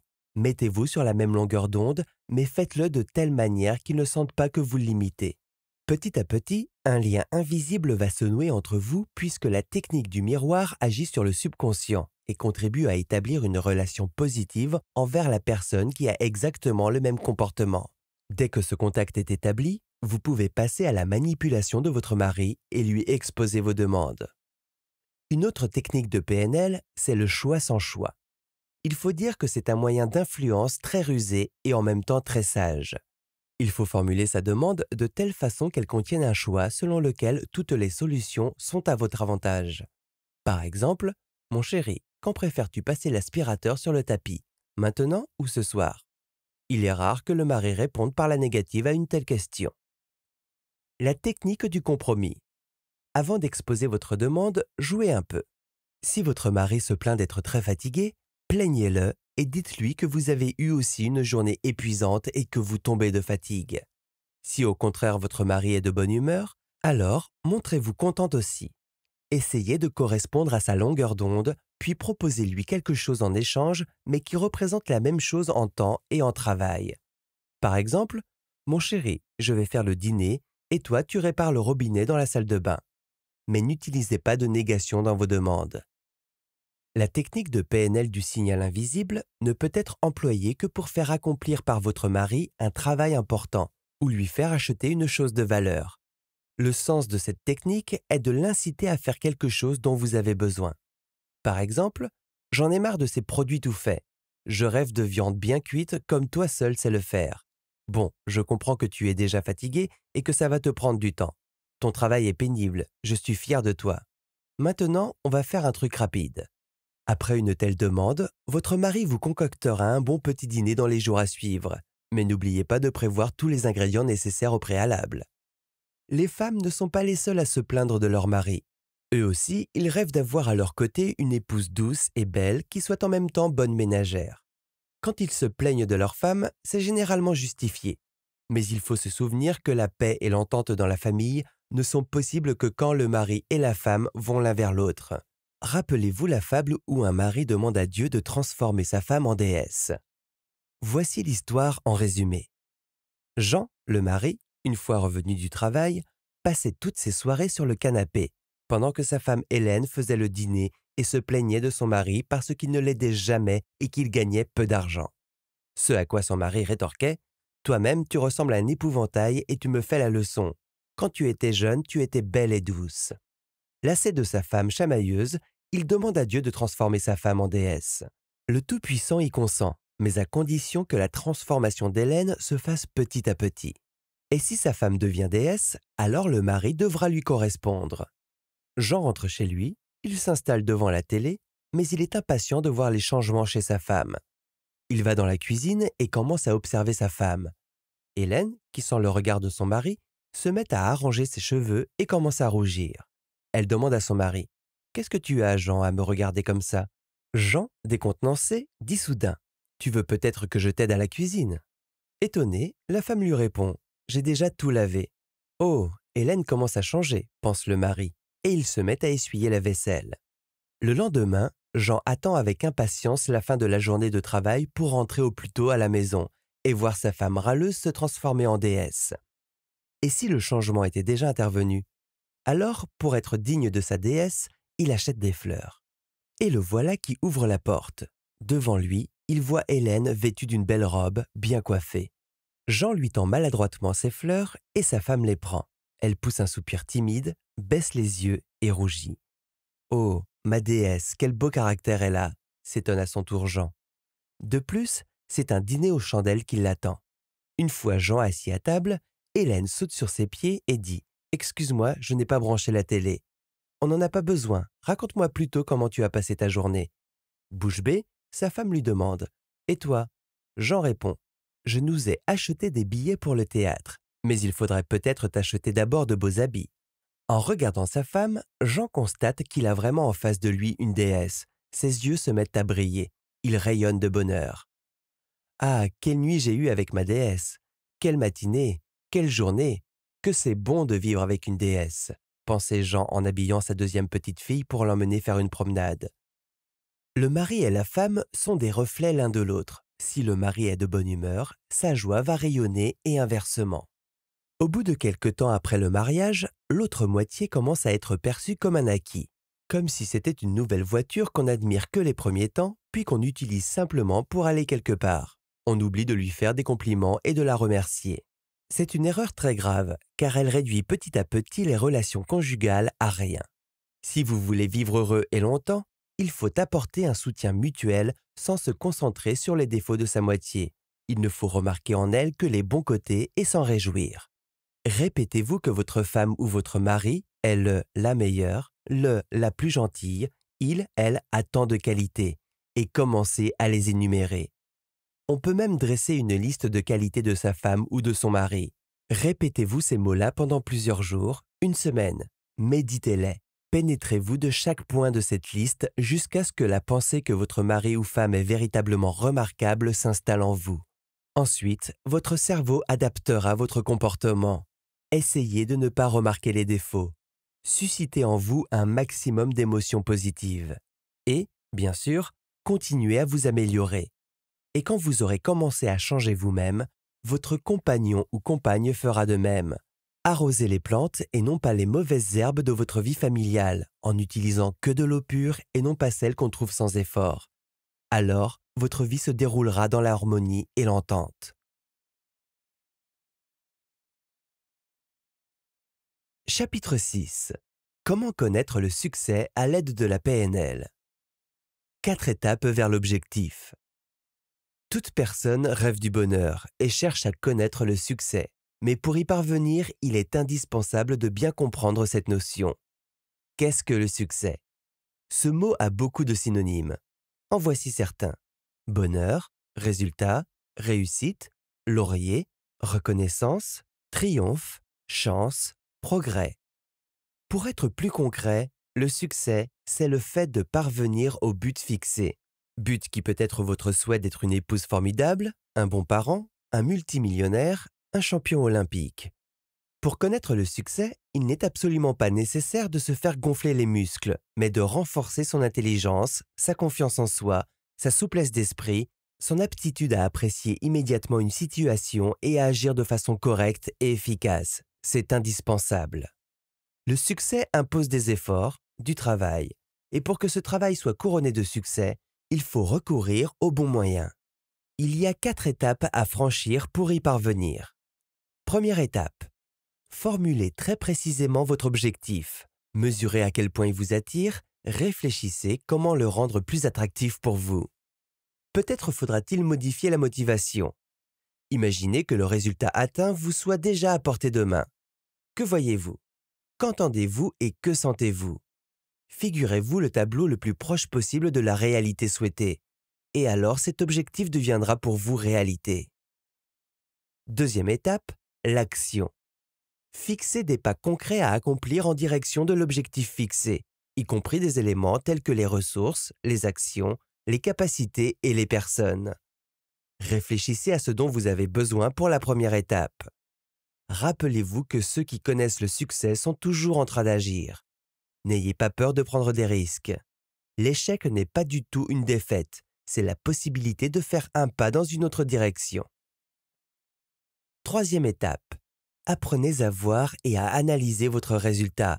Cette aptitude vous aidera à atteindre l'objectif fixé. Enfin, quatrième étape. Une fois parcouru une partie du chemin, regardez en arrière. Étudiez attentivement la route que vous venez de parcourir. Soyez prêt à changer de comportement pour parvenir à l'objectif. Soyez flexible. Apprenez à modifier vos actions tant que vous ne l'aurez pas atteint. technique de PNL pour bien définir son objectif. Il arrive dans la vie qu'une personne se fixe un objectif, qu'elle obtienne déjà quelques premiers résultats, mais soudain, elle perd tout intérêt pour cet objectif alors qu'il était important pour elle. Que s'est-il passé? Il est possible que le subconscient ait cessé de fournir les ressources nécessaires pour y parvenir. Que faire alors? Il est probable que dans un premier temps, la motivation ait été trop faible. Il est donc important de fixer dès le début à l'objectif un cadre élargi, plus grand. Pour cela, formulez le résultat souhaité de façon concrète et surtout positive. Rappelez-vous que votre rôle pour atteindre l'objectif n'est pas ce que vous voulez fuir, mais ce à quoi vous voulez parvenir. Le but fixé doit se situer dans votre zone de responsabilité. C'est vous qui devez l'atteindre, pas une autre personne. En formulant l'objectif, utilisez le pronom je et des verbes au présent. Imaginez-vous parvenir à cet objectif dans les conditions les plus favorables. Divisez ensuite ce vaste objectif en missions plus petites. Définissez ce que vous voulez atteindre, quand, où et avec qui. Les petits objectifs sont plus faciles à travailler pour le subconscient et il sera plus facile d'atteindre le grand objectif en progressant à pas calculés. Représentez-vous un tableau où vous avez déjà atteint votre objectif. Retenez les sensations que vous éprouvez à ce moment-là et mettez-y une encre. Analysez la situation à venir. Dessinez dans votre conscience un tableau du changement du système qui vous entoure où vous parvenez à votre objectif. Posez-vous la question de savoir quelles sont les conséquences qui vont en résulter. Qu'y a-t-il de positif actuellement tant que vous n'avez pas atteint votre objectif? Réfléchissez à ce que peut devenir ensuite ce qu'il y a de bien. Comment va changer votre vie une fois l'objectif atteint? Prenez une feuille de papier et écrivez dessus toutes les raisons de parvenir à l'objectif fixé, puis les convictions dont vous allez avoir besoin pour y arriver. Énumérez les gens ayant déjà atteint cet objectif écrivez leurs convictions. Si vous ne connaissez pas de personne dans ce cas-là, alors imaginez-en tout simplement. Notez au moins trois choses qui vont faire obstacle à cette progression vers l'objectif. Écrivez trois convictions vous fermant le chemin vers ce but. Écrivez les trois premiers pas sur le chemin menant à votre objectif. Ce modèle d'inscription de l'objectif vous aidera à juger correctement de vos désirs et de vos rêves. Si vous comprenez que le jeu en vaut la chandelle, votre inconscient vous indiquera un nombre énorme de ressources nécessaires pour parvenir à cet objectif. La motivation. Pourquoi est-elle si importante? La motivation est une chose étrange qui pousse quelqu'un à agir. C'est grâce à elle que nous allons au travail et que nous faisons des achats. La motivation nous force à faire ce dont nous n'avons pas du tout envie. Rares sont ceux qui sont capables de se motiver pour atteindre tous les objectifs fixés. Ils ressemblent à des pépites pleines d'énergie, ils réussissent partout, ils sont bouillants, pleins de vigueur. Ce sont eux qui sont en mesure de tirer tous les projets. Bien sûr, ils sont très demandés. Or, la plupart d'entre nous passent son temps vautré sur son canapé devant sa télévision, à construire des châteaux en Espagne, comme la conscience des fortes motivations impose des efforts et que beaucoup d'entre nous n'a pas envie d'en faire. Pour susciter une motivation forte, il est indispensable de remplacer les émotions négatives par des positives, car seule une disposition d'esprit positive peut permettre d'avancer. N'exagérons pas les problèmes, et s'il y en a malgré tout, alors ils ne doivent pas exercer de pression sur la conscience. Il faut les réduire dans sa conscience. Rappelez-vous le dicton Moins on s'inquiète, mieux on dort. Résolvez les problèmes au fur et à mesure de leur apparition et non pas de façon globale. Ne remettez pas à plus tard leur résolution. Susciter une motivation, c'est déjà avancer vers l'objectif fixé. Pour gérer vos motivations, prenez la responsabilité de tout ce qui vous arrive. Menez une analyse pour comprendre dans quelles actions vous progressez le mieux. Retenez ce qui vous permet de vous motiver et vous mettre de bonne humeur. Ancrez ces émotions. Si vous commettez une erreur, réfléchissez-y simplement, analysez-la et ensuite, oubliez-la. Si vous réagissez de façon trop sensible à vos erreurs, en vous considérant comme un raté, alors elles vont anéantir votre motivation. Une erreur, ce n'est pas la mort, on peut la corriger. Courage. Si vous avez du mal à entretenir constamment chez vous la motivation, alors trouvez-vous quelqu'un qui puisse vous aider et prenez des cours chez un moniteur. Parfois, pour que la motivation commence à agir, il faut se distraire pendant un certain temps, changer d'activité, peut-être de lieu, simplement se reposer. Riez aux éclats. Le rire est un excellent moyen de se mettre de bonne humeur. Si vous n'avez pas le cœur à rire, alors regardez un bon film, faites rire quelqu'un. Un bon moyen de se mettre de bonne humeur est aussi de commencer à sourire de façon artificielle. Faites un sourire et maintenez-le pendant un certain temps. Vous n'allez même pas remarquer ce sourire forcé devenir sincère. Motivez les autres avec votre idée. Quand vous verrez des gens inspirés par vos objectifs, leur humeur ricochera sur vous et élèvera votre motivation. Apprenez à vous contrôler et alors vous n'aurez aucune difficulté à susciter une motivation. Les lois du succès. Pour connaître le succès, il faut respecter les lois suivantes. La loi de cause à effet. Elle affirme que le succès, la richesse, le bonheur, l'argent sont des conséquences ou le résultat de causes et d'actions définies. En d'autres termes, chaque conséquence a sa cause. Si vous vous imaginez précisément le résultat, alors vous l'atteindrez. Le succès n'est pas le fruit du hasard. Ce n'est ni un miracle ni de la chance. Ce n'est pas pour rien qu'on dit vous récoltez ce que vous semez. Vous êtes libre de choisir.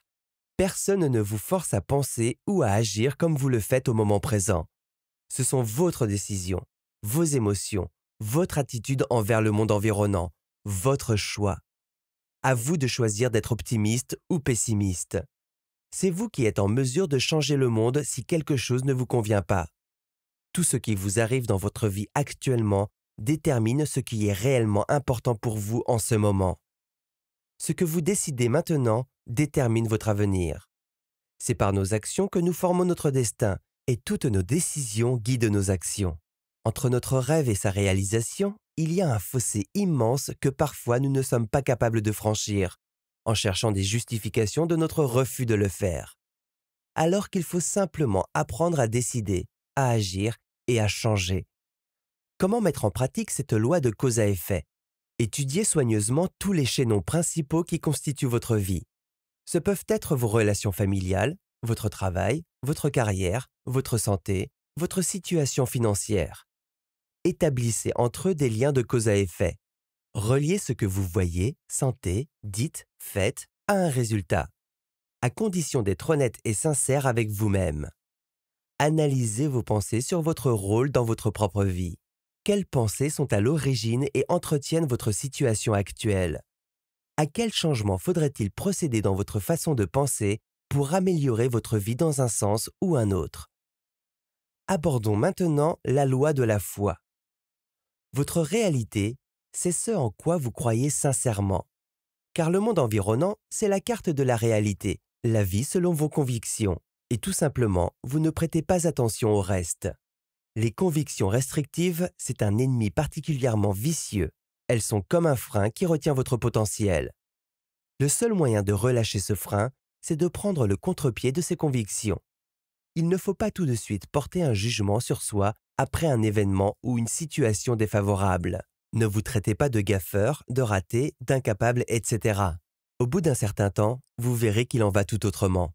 Même si vous avez devant vous quelqu'un qui, selon vous, a réussi beaucoup de choses dans sa vie, cela ne signifie pas du tout qu'il est plus intelligent et plus doué que vous. Simplement, il a su mettre en valeur ses talents. Il a compris la loi de cause à effet. Pour mettre en pratique la loi de la foi, libérez votre raison des peurs et des doutes.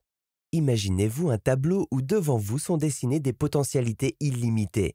Vous avez beaucoup d'argent, des relations utiles, vous êtes talentueux. Qu'aimeriez-vous alors réaliser? Devenir qui? Avoir quoi? Jetez un défi aux convictions qui vous limitent. Si vous n'êtes pas à même de décider vous-même quelles sont les convictions qui vous freinent, alors posez la question à une personne que vous considérez comme proche, car en général, un regard extérieur voit mieux les défauts. La loi de l'attente. Ce que vous attendez avec impatience va devenir prophétie. Ce n'est pas pour rien qu'on dit que la pensée est matérielle. Soyez donc prudent avec ce que vous pensez. Attendez-vous au meilleur. Si vous avez une famille, alors commencez par elle. Ne dites que des choses agréables à ceux de votre maison. Dites que vous les aimez, qu'ils vous sont les plus chers au monde. Et même si vos relations avec eux ne sont pas les meilleures en ce moment, après avoir vu un tel changement dans votre comportement, les choses vont changer chez eux aussi. Tenez-vous à cette règle aussi dans les relations avec les amis et les collègues. Attendez-vous au meilleur de votre part. Ne limitez pas vos potentialités. Pensez plus souvent que ce dont vous rêvez va se réaliser. Vous êtes capable de tout. Croyez en vous et en vos forces. La loi de l'attraction. Rappelez-vous que vous êtes un aimant vivant. C'est vous qui attirez dans votre vie des gens, des circonstances et des situations. Tout ce qui vous entoure correspond à vos pensées. Pour mettre en pratique la loi de l'attraction, procédez à une analyse minutieuse de vous-même. Assurez-vous que la réalité autour de vous se trouve en harmonie avec votre monde intérieur et vos pensées. Assumez la responsabilité de ce qui vous arrive dans la vie. Posez-vous la question suivante. Qu'est-ce qui a provoqué telle situation Lesquelles de mes pensées?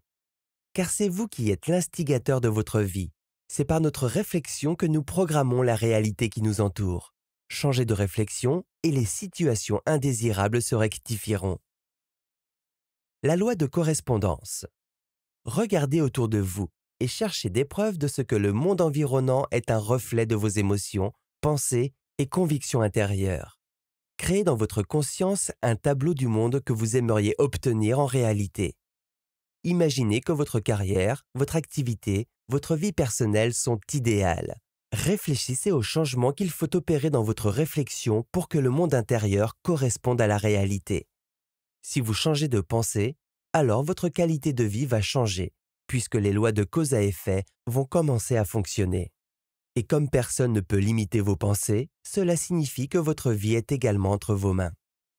Le secret de ceux qui réussissent consiste en ce qu'ils regardent la vie différemment de la majorité d'entre nous. Ils en voient différentes nuances et les résultats supposés de leurs actions. Une personne qui a un mode de réflexion stéréotypé, simplement copié sur le comportement de ses concurrents, aura beaucoup de mal à avancer. Pour se distinguer dans la foule, il faut être unique ou choisir une voie originale pour parvenir à ses buts, suivre sa propre voie et sortir des chemins battus. Posez-vous plus souvent les questions pourquoi et si Pourquoi est-ce ainsi etc. Mettez en doute les convictions et les avis établis. Envisagez des chemins auxquels vous n'aviez jamais pensé auparavant. Remiez-vous plus souvent les méninges. Cherchez des voies plus innovantes pour atteindre vos objectifs. Toute innovation est la découverte d'erreurs dans les convictions traditionnelles. Observez ceux qui réussissent, analysez leurs décisions et adaptez pour vous ces idées révolutionnaires en y introduisant quelque chose de nouveau. Si vous avez l'impression de tout faire comme il faut, mais que curieusement votre idole connaît le succès alors que vous n'en êtes encore qu'à rêver, alors comparez ses actions et ses objectifs aux vôtres. Si les situations vous paraissent similaires dans leur essence alors qu'elles aboutissent à des résultats différents, tentez de trouver les différences et de comprendre quelles sont les causes qui ont eu pour effet des résultats différents. Chaque jour, faites une liste de tâches de la journée pour organiser tout le processus et atteindre les objectifs fixés. Mais tenez-vous-en à la règle selon laquelle le travail doit vous être soumis et non pas l'inverse. Commencez votre journée de travail en étant de bonne humeur. Dressez-vous un régime de façon à partir le matin au travail sans hâte essayez de vous mettre au travail toujours à la même heure et sans trop varier. Vérifiez de temps en temps votre plan de travail de la journée. Essayez de faire tout ce qui est important le matin. Durant la journée, contrôlez les délais de réalisation des tâches fixées. Écartez celles qui ne sont pas nécessaires. Surveillez le rythme de travail. Efforcez-vous de faire en sorte qu'il soit régulier. Si cela représente beaucoup de travail à faire, alors divisez-le en parties. À la fin de la journée, tirez-en le bilan et planifiez la journée du lendemain. Revenez à la maison de bonne humeur en laissant hors de votre conscience toutes les pensées relatives au travail. Le succès. Existe-t-il un secret? En quoi consiste le secret de la formule du succès? Comment le trouver? Il n'y a pas de telle formule, souvenez-vous-en. Le succès, c'est avant tout le résultat d'un perfectionnement de soi, d'un travail effectué sur soi-même c'est avoir su tirer des leçons des erreurs, faire preuve de loyauté envers les autres. Or, il est plus facile de connaître le succès si on fait ce qu'on aime. Consacrez-vous tout entier à cela. Alors toutes les tâches et les problèmes vont se résoudre facilement et le travail vous apportera du plaisir. Et pour conclure ce chapitre, quelques aphorismes sur le succès dans le style de la PNL. Les lois des vainqueurs. Ceux qui réussissent croient en leur force et en leur capacité. Ils jugent de leurs résultats non pas d'après ce qu'ils ont déjà obtenu, mais selon ce qu'ils veulent encore atteindre. Celui qui renonce à ses responsabilités sera captif, et celui qui les assume connaîtra la liberté. Les sages disent que chaque nouveau jour de notre vie est une nouvelle naissance. Chaque jour pour nous est une chance de commencer une nouvelle vie. Chaque jour nous offre un cadeau sans prix, la chance de changer tout ce qui prive notre vie de bonheur. Le moment optimal pour commencer à agir, c'est maintenant. Mieux vaut aller de l'avant en commettant des fautes et des erreurs que de faire du surplace en cherchant à être incapable. Les malchances ne sont pas des échecs, mais seulement des marches sur l'escalier du succès. Ne laissez jamais personne vous convaincre de cesser de faire ce qui vous plaît beaucoup. N'écoutez pas les voix qui vous disent ⁇ Ne fais pas ça, tu ne vas jamais y arriver ⁇ La possibilité de grandir efficacement est cachée dans la tentative supplémentaire, même quand on croit qu'on n'a pas assez de force. Ne vous désespérez jamais, ne baissez jamais les bras. On peut toujours tout corriger, trouver une issue à la situation. Si jamais vous cédez, la fin viendra tout de suite. Chapitre 7 La PNL dans les relations. L'homme ne peut pas ne pas communiquer, même s'il est par sa nature très renfermé ou que son portrait est en place d'honneur avec la mention recherchée par la police, il ne peut pas devenir Robinson Crusoe puisque sur notre planète, il ne reste presque pas de lieu où un taciturne ne serait pas obligé de répondre à une question quelconque. Nous parlons toujours avec nos semblables. Grâce à nos échanges, nous résolvons des questions liées à nos affaires et à la vie quotidienne, nous obtenons des connaissances sur le monde qui nous entoure, nous partageons notre expérience, nous menons notre vie personnelle, nous développons des qualités personnelles. Vous avez probablement remarqué qu'il est aisé de parler avec certaines personnes, quel que soit le contexte de la rencontre, qu'elles attirent tout le monde, que tout le monde est content de les voir, qu'il est agréable de les écouter. Et il y en a, au contraire, qui vous gâtent l'humeur pour toute la journée. Pourquoi? Chez certaines personnes, l'art de communiquer est un don de la nature. Elle prédispose favorablement l'interlocuteur. Parfois, ces personnes n'ont pas besoin de faire quelque chose en particulier pour que tout leur réussisse. Et si on n'a pas tous ces avantages? Alors cet art peut s'apprendre, notamment en utilisant les techniques de programmation neurolinguistique. Procédons par ordre. Que faut-il pour avoir de bonnes relations? Les relations, c'est un processus d'interaction et de lien entre des gens, des groupes sociaux pour un échange d'informations, d'expériences, de résultats d'activités. L'échange entre les gens ne survient qu'au moment où les relations sont personnelles. L'art des relations constitue une part très importante de la vie.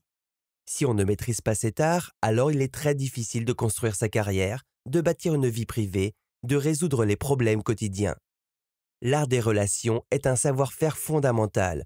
Où que l'homme travaille, il a besoin de maîtriser ce savoir-faire.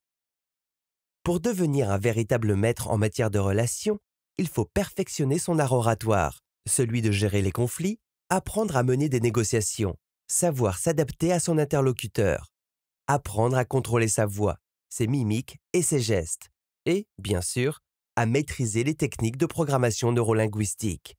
Dans les relations, la personne poursuit des buts précis, souhaitant parler à son interlocuteur d'événements, l'informer, le prévenir de quelque chose, l'incliner à exécuter telle ou telle tâche, le dissuader de quelque chose, voire parfois l'effrayer. Quand on mène des négociations ou une conversion, nous nous sentons leaders dans les relations avec une personne. Si on pouvait lui imposer ses règles du jeu, l'influencer et le soumettre à ses objectifs et ses projets mais il arrive que c'est notre interlocuteur qui maîtrise si bien les techniques efficaces de PNL qu'on a l'impression d'avoir naturellement envie d'accepter toutes ses idées et ses projets et de renoncer aux siennes propres. Comment acquérir l'art d'être un leader dans les relations? Considérons un schéma de relation. Tout d'abord, nous recevons une information. Ensuite, elle passe par nos filtres que sont la perception, les convictions, les besoins, les valeurs, les motifs et la langue. Ensuite s'opère un traitement de l'information qui va être conservé. Une souplesse de comportement s'élabore. Ce n'est qu'ensuite que nous indiquons en réponse notre information et que nous manifestons un certain comportement dans le dialogue avec l'interlocuteur. Pour que l'échange soit efficace et aboutisse aux objectifs fixés, il est nécessaire d'établir un contact psychologique grâce auquel l'échange pourra être couronné de succès avec le résultat attendu. Comment l'établir? Analysez la conversation à venir en vous posant les questions suivantes. Que veux-je obtenir de mon interlocuteur? Y a-t-il des objectifs qui contredisent ce résultat? Par quels moyens peut-on établir puis maintenir le contact avec cette personne? Comment organiser de façon plus efficace cette relation? Comment les interlocuteurs vont-ils prendre ce que je vais leur dire? L'information à communiquer doit-elle être dite par moi ou par quelqu'un d'autre? Si vous devez avoir un entretien important dont va dépendre votre carrière, votre vie personnelle, ou si vous devez simplement passer un coup de téléphone, posez-vous déjà certaines de ces questions. Ensuite, déterminez quel résultat vous souhaitez obtenir de cet entretien. Choisissez bien les mots que vous souhaitez utiliser. Pour que votre conversation soit plus efficace, intégrez l'image de votre interlocuteur. Si vous appartenez au même milieu, alors cela vous sera facile. Mais si votre interlocuteur a une carte de la réalité tout à fait différente, renseignez-vous à l'avance sur les particularités de son caractère, ses habitudes et sa manière de communiquer. En effet, il est plus facile d'établir un contact avec une personne avec laquelle on a plus de points de contact. Par exemple, une nature généreuse qui ne s'attarde pas aux détails pourra hériter une personne ponctuelle. Un optimiste aura du mal à être sur la même longueur d'onde qu'un pessimiste, un visuel avec un kinesthétique. L'établissement d'un contact dépend du rythme de la parole. Si l'entretien que vous devez avoir est très important, ainsi que le contact avec cette personne, alors étudiez ses caractéristiques particulières et mettez en pratique le principe de la technique du miroir dans vos discussions avec elle. On peut s'adapter complètement ou partiellement à son interlocuteur. Dès que le contact est établi, commencez petit à petit à amener la conversation dans la direction voulue. Commencez à ralentir le rythme de votre propos. Réduisez les gestes jusqu'à ce que votre interlocuteur commence à faire comme vous. Quand l'attitude de votre interlocuteur deviendra similaire à la vôtre, cela signifiera que vous avez commencé à l'entraîner derrière vous. À ce moment-là, passez à la partie importante de votre discussion.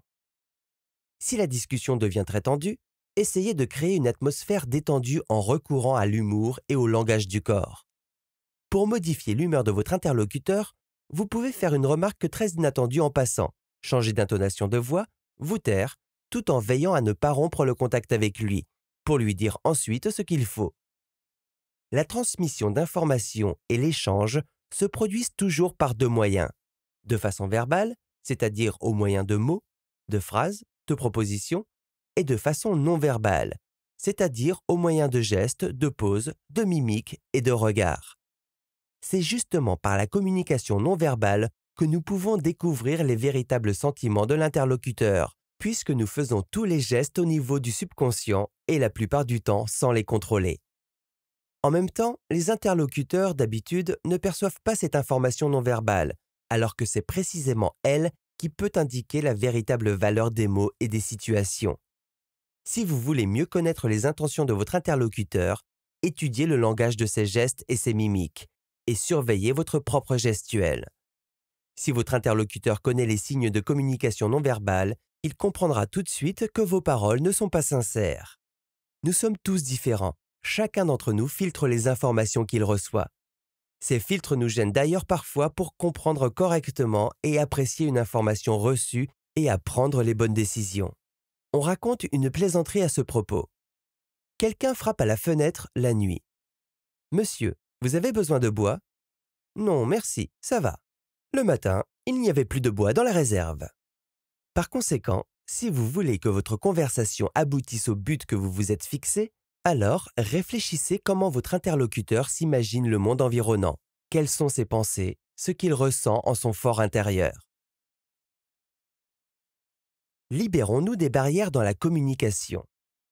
Une communication sera efficace si la confiance s'instaure entre les interlocuteurs. Une fable raconte. Il était une fois un moine. Toute sa vie, il essaya de savoir s'il existait un paradis et un enfer, et si oui, en quoi il se distinguait? Il vit une fois un songe où il se trouvait en enfer. Il avait devant lui d'immenses bûchers, avec des chaudrons pleins de nourriture, mais des gens affamés, épuisés, tournaient autour de ces marmites, alors qu'ils avaient en main des cuillères. Ils ne mangeaient pas. Le moine regarda attentivement et vit que ces cuillères avaient des manches qui étaient longs et couverts de piquants, qui étaient plus nombreux à proximité des marmites. Les gens pouvaient prendre de la nourriture, mais ils ne pouvaient pas la mettre dans leur bouche. Le moine fut étonné, mais un diablotin s'approcha de lui et l'appela voir le paradis. Et que vit-il? La même chose, des bûchers, des marmites, les mêmes cuillères couvertes de piquants, mais les gens sont repus et contents. Le moine les regarda manger, et il vit que les gens se nourrissaient les uns les autres avec ces cuillères, puisqu'il était pratique de les tenir par le bout, mais qu'il n'était pas possible de les approcher de sa propre bouche. Nourrir les autres était possible. La confiance, c'est la certitude de la sincérité, la conscience des relations. Le sentiment de confiance apparaît s'il y a entente entre les gens, soutien affectif et perception de l'interlocuteur comme d'une personne. Mais cela ne réussit pas toujours. Des barrières existent. Les barrières dans la communication, qu'est-ce que c'est? Chacun d'entre vous a probablement connu cette situation où pendant une rencontre et un échange avec un partenaire, on commence soudain à ressentir de l'inquiétude, tension et même de l'angoisse. Ces sentiments apparaissent parce que vous n'avez pas eu la possibilité de prévoir l'évolution du scénario de la rencontre et de l'échange avec ce partenaire. L'interlocuteur, en vous voyant inquiet, commence lui aussi à perdre son calme.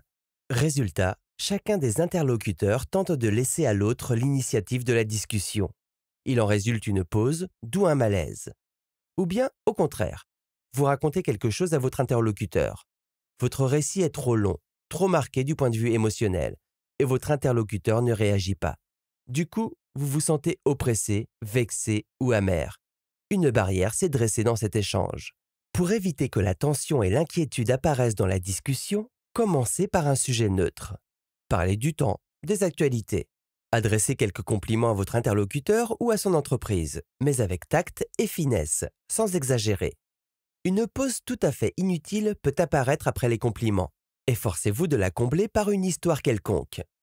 Si vous avez besoin d'exprimer une critique, alors utilisez la formule compliment, critique, compliment.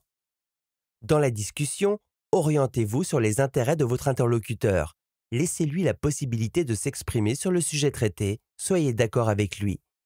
Quand il remarquera que vous appuyez son point de vue, il éprouvera un sentiment quant à cette discussion et aux actions, tant les siennes que les vôtres. Si l'objet de votre discussion est simplement un échange, alors efforcez-vous d'écouter attentivement votre interlocuteur. Mais si vous avez un objectif concret, alors gardez-le constamment à l'esprit suivez l'évolution de la discussion et ne la laissez pas partir ailleurs. C'est la technique de manipulation de la conscience technique du miroir, dont nous avons déjà parlé dans cet ouvrage, qui vous aidera à supprimer les barrières. Pour améliorer vos relations avec votre entourage, ne perdez pas votre maîtrise de soi, contrôlez vos émotions, ne sortez pas du cadre de ce qui est admissible. Essayez de sourire plus souvent, de parler d'un ton doux et amical. Votre sourire et la bienveillance qui émanent de vous sont capables de faire des miracles. Même un chef méchant devient accommodant. Pendant la discussion, veillez à ne pas poser trop de questions, sinon cela ressemblera à un interrogatoire, ou bien votre interlocuteur pensera que vous n'avez rien à dire. Maintenant, essayez d'assimiler les méthodes de PNL qui vous aideront à trouver la bonne approche vis-à-vis de votre interlocuteur, à qui vous avez une demande à adresser. Première méthode.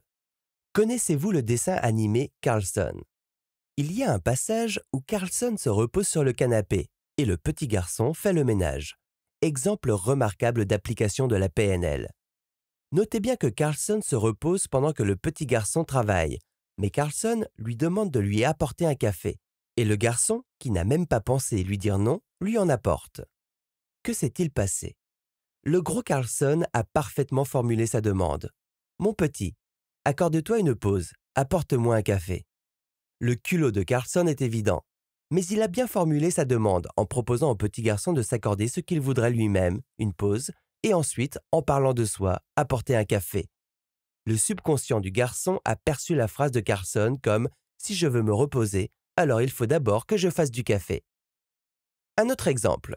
Vous cherchez quelqu'un qui puisse faire des travaux chez vous à la maison. Vous trouvez une personne, mais vous avez peur qu'elle refuse, et pourtant c'est elle que vous voulez embaucher vous pouvez formuler votre proposition de la manière suivante.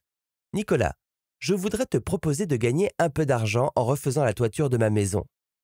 En formulant votre demande de cette façon, vous proposez à votre interlocuteur de gagner un peu d'argent, mais en même temps, vous lui faites comprendre qu'il faut que ce travail ne coûte pas cher. Cette technique est souvent utilisée dans la publicité. Deuxième méthode. Avant de formuler votre demande, utilisez au début de votre phrase la fin de celle de votre interlocuteur en y ajoutant votre demande. Il est probable que votre interlocuteur prenne votre phrase pour la sienne. Troisième méthode. Par exemple, vous voulez avoir le numéro de téléphone d'une fille qui vous plaît beaucoup. Comment éviter qu'elle refuse? Vous pouvez formuler votre demande ainsi. Hélène, pourrais-je demander à Michel de passer vous voir demain à midi pour que vous lui écriviez votre numéro de téléphone? Comme ça, lundi, je pourrais vous téléphoner. Probablement effrayé par un scénario aussi compliqué pour le lendemain, en se disant qu'il faudra être à la maison à midi pour attendre le passage de son ami, la fille vous donnera tout de suite son téléphone. Généralement, ces demandes complexes aboutissent à un résultat positif. Quatrième méthode. Si vous voulez obtenir une réponse positive à votre demande, utilisez des mots comme de nouveau, toujours, chaque fois, constamment. Il force la personne à exécuter plus vite ce que vous lui demandez. Par exemple, une femme dit à son mari Chérie, encore une fois, tu n'as pas lavé ta tasse. Tu oublies toujours. Ça m'énerve. À chaque fois que je range, tu vas prendre un café et tu oublies constamment de la laver. De cette façon, la femme essaye de faire monter la pression dans la famille pour obtenir le résultat voulu. Après une tirade pareille, le mari lavera sa tasse la fois suivante. Cinquième méthode. Dans vos demandes, utilisez les mots suivants. S'il vous plaît, soyez gentil, soyez aimable, cher. Les relations, c'est un échange énergétique. Essayez de donner de l'émotion à vos paroles, de l'enthousiasme. Même la formule de salutation la plus simple, comme bonjour, peut n'être qu'une formalité, mais elle peut être aussi un souhait sincère. Si vous avez besoin que votre interlocuteur vous croie, vos propos doivent susciter une image. Essayez de ne pas utiliser de négation. La particule pas est difficilement perçue par notre conscience. Par exemple, des mots comme pas cher, pas compliqué, n'aie pas peur sont perçus par l'interlocuteur de façon opposée. Il entend cher, compliqué, peur. Évitez l'emploi de mots peu euphoniques, avec des sons rudes. De même que les mots de cauchemar, horreur, malheur suscitent un sentiment d'angoisse chez l'interlocuteur. Ils peuvent être remplacés par des synonymes. Par exemple, utilisez difficulté au lieu du mot problème. Accessible au lieu de pas cher. Idéal sonne mieux que impeccable. Dans votre discours, employez des mots exprimant quelque chose de positif et un appel à l'action. Par exemple, nécessaire, développement, librement, agir. Les phrases contenant des mots tels que particulier, fantastique, vous, principal, premier, remarquable, phénoménal sont dotés de propriétés hypnotiques.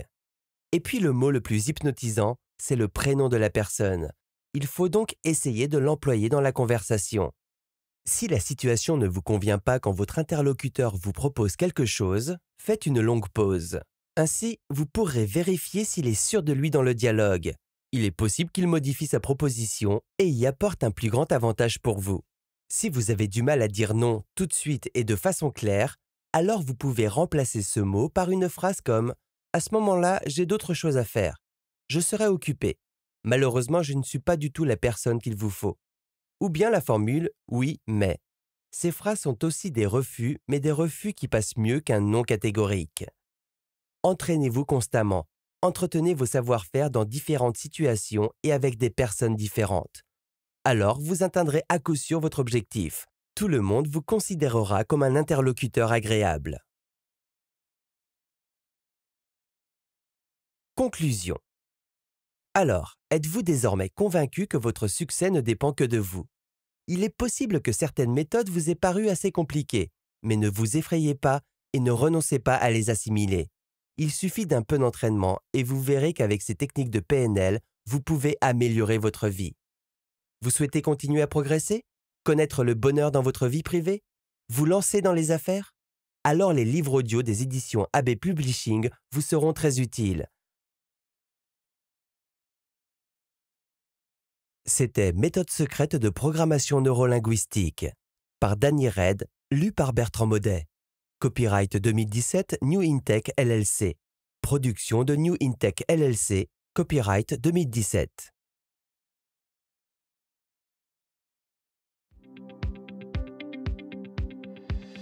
Chers auditeurs, nous espérons que vous avez aimé ce livre. Vous pouvez écouter la version intégrale du livre en suivant le lien dans la description. Si vous voulez participer au tirage au sort de cadeaux sympas, abonnez-vous à la chaîne, cliquez sur J'aime et laissez un commentaire sous la vidéo.